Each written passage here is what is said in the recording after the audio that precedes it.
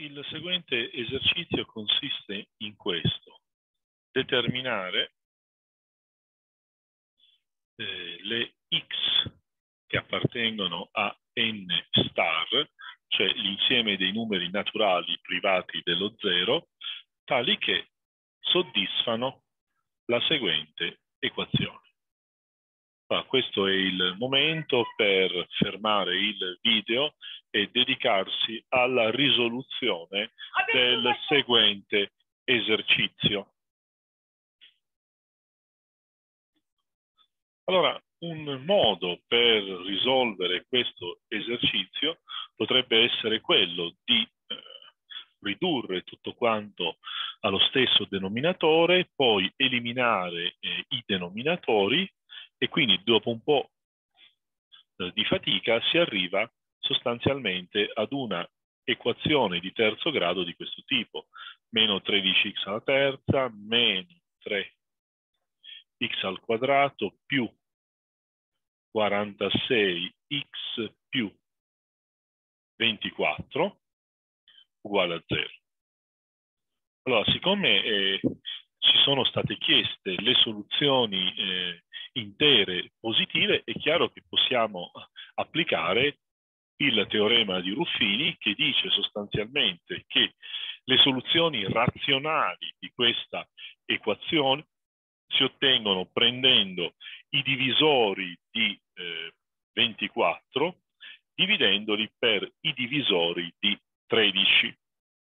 Allora, siccome eh, 24 e 13 non hanno fattori in comune, è chiaro che eh, bisognerà prendere sostanzialmente tutti i divisori di 24 e provare a, ad inserirli nell'equazione.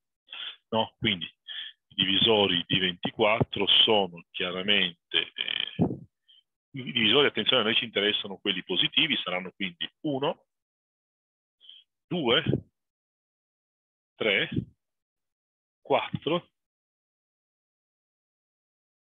6, 8, 12, 24. Quindi bisogna per tentativi no, eh, provare 8 volte.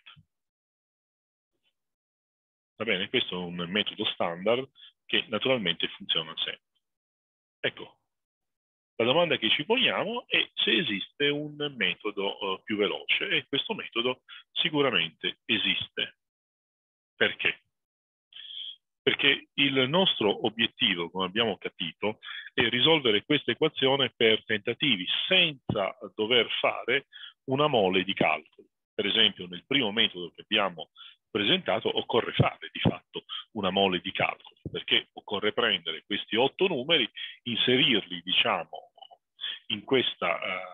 equazione e vedere quale di questi la rende soddisfatta. Allora, adesso cerchiamo di costruire un metodo che riduce, diciamo, il numero delle soluzioni intere positive candidate ad essere proprio le soluzioni di questa equazione.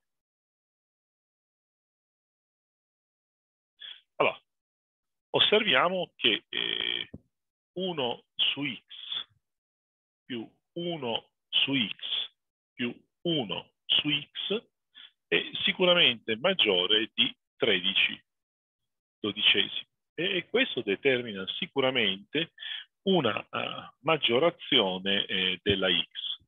Allora, con un po' di conti si vede che 36 eh, tredicesimi risulta essere maggiore di x. Va bene? Allora, prova a ottenere eh, un'altra maggiorazione per la x. Questo è un numero che risulta essere superiore ad x. Riusciamo a trovare un numero che risulta essere minore di x?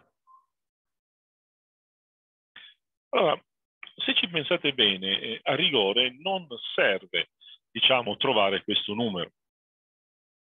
Va bene? In realtà noi lo possiamo trovare mettendo 1 fratto x più 2 più 1 fratto x più 2 più 1 fratto x più 2 minore chiaramente di 13 dodicesimi, che equivale a dire che 36 tredicesimi meno 2 è minore di x.